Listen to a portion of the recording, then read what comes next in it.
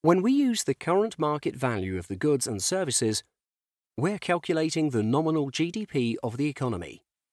For an economy with several different goods and services, we can express nominal GDP as the sum of all the current prices multiplied by the quantity produced for each good.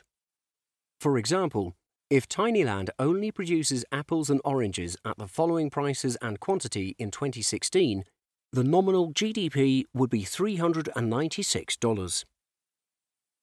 Let's say the production figures for 2017 are as such. The nominal GDP for 2017 is $500. This is a whopping 26% GDP growth for 2016. As the growth in nominal GDP will include the effect of price increase for the period, this figure is not representative of the actual production growth. Economists prefer to analyse the real GDP growth rate instead, as it strips away the effect of inflation. Real GDP is calculated relative to a base year. By using base year prices and current year output quantities, real GDP growth reflects only increases in total output.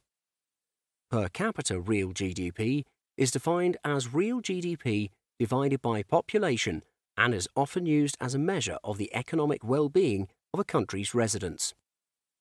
If we take 2016 as the base year, the real GDP for 2016 will be the same as nominal GDP as it is the base year. For 2017, we use 2016 prices to calculate the real GDP. Plug in the appropriate prices and we get $430. So in fact, the real GDP growth for 2017 is just 8.6%. As the effect of price increase has been removed, this is the actual increase in production for 2017. The GDP deflator is a price index that can be used to convert nominal GDP into real GDP and can be calculated using this formula. So for Tinyland, the GDP deflator for 2017 is 116.3. The GDP deflator formula can be rearranged so you can easily calculate the real GDP if you know the nominal GDP and GDP deflator for the year. Let's illustrate this with an exercise. In 2012, Wonderland's nominal GDP was $50 billion. The nominal GDP grew at an annualized rate of 7.5% from 2012 to 2018. Using 2012 as the base year, calculate the annualized growth in real GDP from 2012 to 2018 if the GDP deflator is 122.3 for 2018. Pause the video now and work out your answer. And we're back.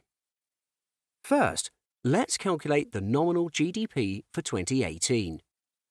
Compounding at 7.5% for six years, we get $77.165 billion. Next, we calculate the real GDP using the GDP deflator.